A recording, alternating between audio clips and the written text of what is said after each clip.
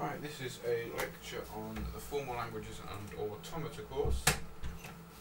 And it's on, first it's going to have the definitions which we're going to use for languages and stuff. And then it's going to show you how to create a DFA. And later on we'll do um, how to reduce DFAs as well. And NDFAs, NFAs. Right, first, definitions. Alphabets, words, languages. An alphabet is a selection of symbols or numbers in this case. So we've got an alphabet here of uh, 0, 1.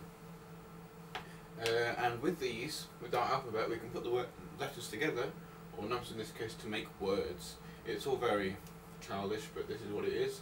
So 0, 0, 1, 0, 1, 0, 1, 1, 1. This isn't just binary. You could have any number of symbols in there.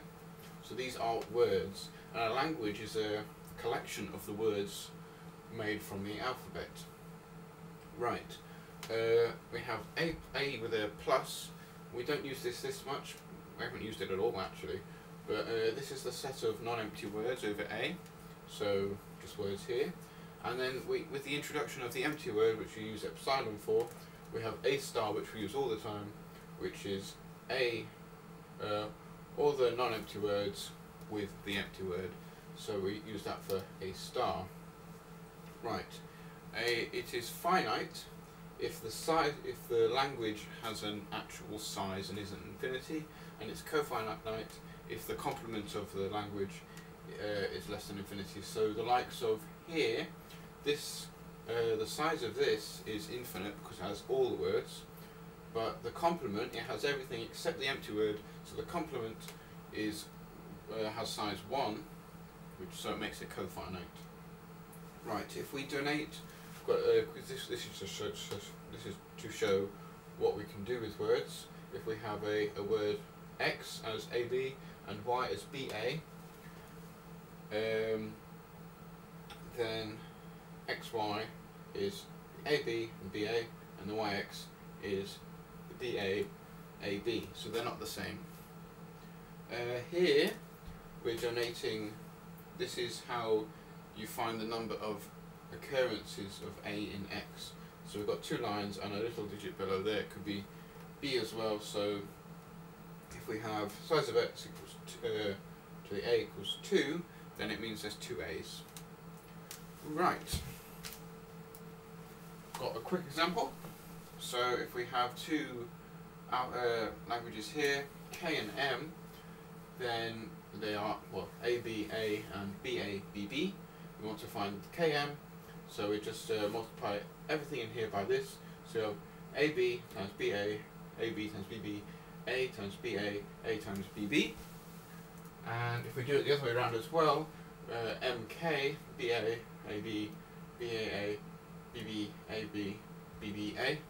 And we can see that they're not the same. It doesn't matter what order you put these in, just the order of the of the uh, the letters. So, and if we want to find k intersect m, well, we can see none of these are the same. So that's just going to be the empty set. Right, now we're on to DFAs. This is more useful. Right, now we donated DFA by here. This A is meant to be a curly A, so it's different to this A here. So this A is equal to A well, this is the alphabet we're going to have. Q, this is this, the set of states, and this will make more sense in a minute with an example. Delta, this is the transition function, so if we go from one state to another state, here, and we use an arrow, uh, states are done with a circle. Uh, Q naught, this is the uh, initial state, and we donate this with an arrow going into the state. And F, these are the final states. There can be more than one of them. Actually, there can be more than one initial state as well. Um, a set of final states, and we do this with a double circle. That's how we denote that. Denote that. Right. Oh, I haven't done that very well, but never mind. Right, we want to draw a DFA for the following language. Now this is the language, so it's going to have all all non-empty words and the empty word of A, it's going to have an A, then a B to the power N and then it's just going to be a positive. So what we want to do first is we want to have a, an initial state So it's got it's got to go into something, and we we note these states as q naught. Remember, so the initial state is q naught. Then we want to have it so that we can have an a. So if we have a state going from q naught to a, so when we go from a, we can go to q1. We're gonna we're gonna name this state, and because it because b can be the empty set, so, it could be b to the zero because it's less than or equal to zero. It, we could just have a in our set, uh, in our language. Sorry. So this can be a final state once we've applied a, and then we want to have as many b's as we want, also keeping it as a final state. However, if we start with a b instead of an a, then we, we've got here, this is what we call a sink state. So it's going to stay here because we can't have an element starting with b. So once we get here, we're going to have a, an arrow round, so this is our transition, of uh, a comma b. So if you get an a or a b next, then it's just going to stay here because we can't start with a b, so it can't go anywhere. It cannot go to a final state.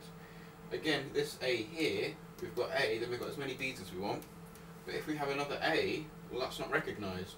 So b a to the n, a is not recognised, so the a goes to the sink state here.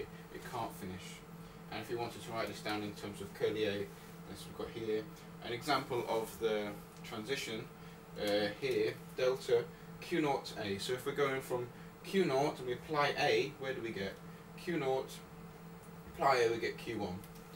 And over here as well, uh, this is a complete DFA because uh, it has every element A and B going from each state. Right, here's another example. Right, we've got our alphabet of AB. I should have put that in the previous one really. And the language is with X in A star. So X has X can be anything including the empty set. Uh, the number of A's that are going to be in X should be less than or equal to 2. So first again we want the initial state here, but because A has to be less than or equal to, the initial state can also be the final state. So now it, we don't really care about the B's, so we can have as many B's as we want. Yeah, so whenever in Q we apply a B, we'll keep getting a Q naught. But then we've got one A, so we're counting the A's to be less than or equal to 2. So then Q1 can also be our final state as well. So can Q2, because then we've had one, two Q, two A's, but here we've had a third A, so that is not in the language because it's actually 3 and want it less than or equal to 2. So this is our sink state, and we have the A and B going round and round and round. We can put, uh, we can use a transition diagram. I hope you can see that. Uh, so we've got delta, and then this is our Q naught and AB. Uh, so we have delta Q naught A, what happens? It goes to Q1. Uh, delta and Q1B, so Q1 apply B, we're staying Q1. And because everything is in here, it's a complete set. And I think that's it. There we go.